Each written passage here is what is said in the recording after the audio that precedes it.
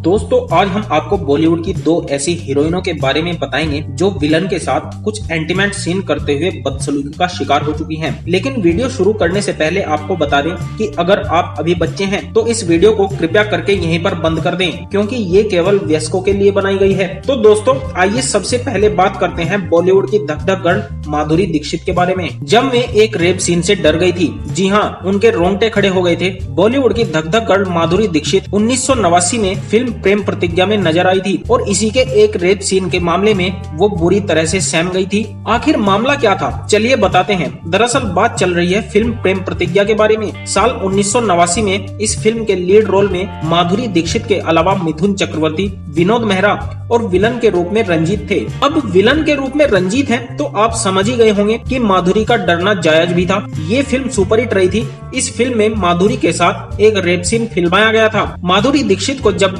Director ने इसके बारे में बताया तो वो सहम गई। हालाँकि कहानी के मुताबिक रेप सीन की ज़रूरत भी थी और माधुरी इसके लिए तैयार भी हो गई थी। वैसे रंजीत की छवि एक खूंखार विलन की थी और माधुरी समझ नहीं पा रही थी कि कैसे होगा ये सीन। जब सीन शूट होना शुरू हुआ तो माधुरी दीक्षित डरी हुई थी और उन्होंने विलन रंजीत को ये कहकर अलग कर दिया कि मुझे हाथ मत लगाना। मीडिया रिपोर्ट्स की माने तो रंजीत ने उस सीन में माधुरी के साथ ज़बरदस्ती की थी और वो तय की गई स्क्रिप्ट के हिसाब से कुछ ज़्यादा ही रिएक्ट कर गए थे। रंजीत ज़्यादा हावी हो गए थे और वो अपना आपा खो बैठे थे, जिसकी वजह से माधुरी दीक्षित को ताकत के साथ उन्हें खुद से अलग करना पड़ा। और ऐसा दावा किया जाता है कि इस दौरान माधुरी ने रंजीत के हाथ पर काट भी लिया था, तब जाकर रंजीत दूर हटे।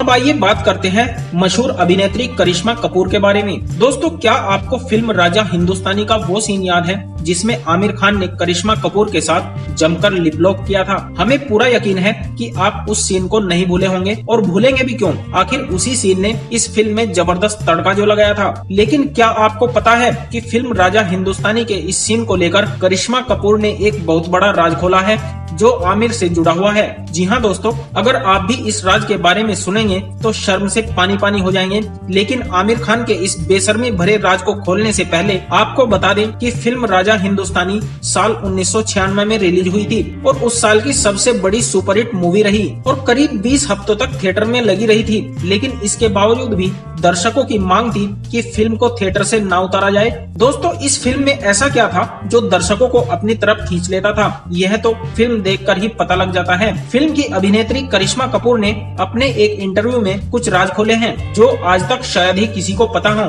जी हाँ दोस्तों, उनका कहना है कि इस फ़िल्म में डायरेक्टर धर्मेश ने अपनी सारी जान झोंक दी थी, लेकिन उनसे पहले फ़िल्म में जूही चावला और ऐश्वर्या को कास्ट किया जाना था, लेकिन उन दोनों के मना करने पर ही करिश्मा कपूर को फ़िल्म में लिया गया। इसके अलावा जो बात करिश्मा कपूर ने आमिर खान के बारे में बताई, उसे सुनकर तो आप यकीन ही नहीं करेंगे कि आमिर खान जैसा एक्टर भी ऐसा कर सकता है। जी हाँ दोस्तों, करिश्मा का कहना है कि इस फ़िल्म में जो किसिंग सीन किया गया है, उसे करते समय आमिर खान काफ़ी शर्मा रहे थे, क्योंकि सीन था ही इतना लंबा। लेकिन डायरेक्टर धर्मेश के समझाने पर आमिर खान वह सीन करने के लिए तैयार हो गए। आपको बता दें कि आमिर ने यह सीन करने से पहले करीब एक लीटर वोडका पी ली थी, और उनकी ये हरकत देखकर सभी हैरान हो गए थे कि आमिर खान ऐसा कैसे कर सकते हैं, क्योंकि उनकी छवि एक बहुत बढ़िया इंसान की भी रही है। लेकिन आमिर ने कहा कि उन्होंने अपने अंदर की शर्म और डर को खत्म करने के लिए ही ऐसा किया था, ताकि मैं इस सीन को अच्छे से कर सके। आमिर और करिश्मा का वो चुंबन सीन आज तक का बॉलीवुड का सबसे लंबा सीन रहा है। तो दोस्तों,